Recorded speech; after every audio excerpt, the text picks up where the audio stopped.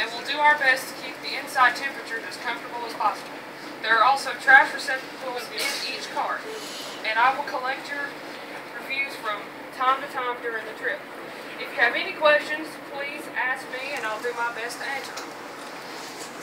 While we want this trip to be enjoyable, your safety is our principal concern.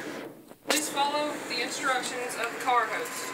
We are wearing red 21st century steam hats, yellow safety vests, 21st century.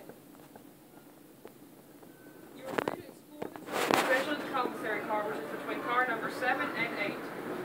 Commissary car called sells snacks and drinks as well as gifts and souvenirs.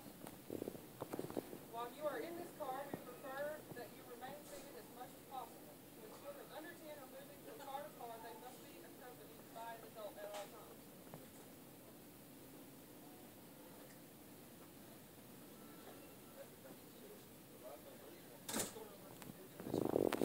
You have to do it again at some point.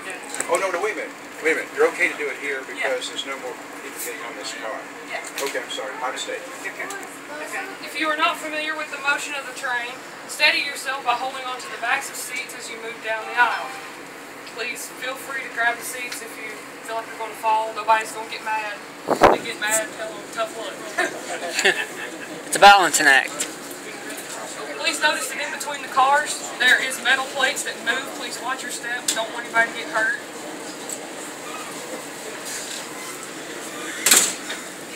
Be careful and watch your children when walking through the areas between cars and do not step while in the diaphragm area.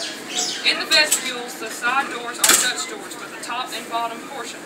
Both portions must be kept closed at all times during the trip while in motion.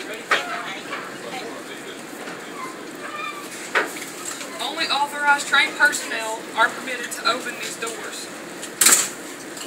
When we return to Johnson City and Bristol, I will announce when it is time to dis- disembark, and someone will assist you as you step down the vestibule stairs. Please take your time, and watch your step,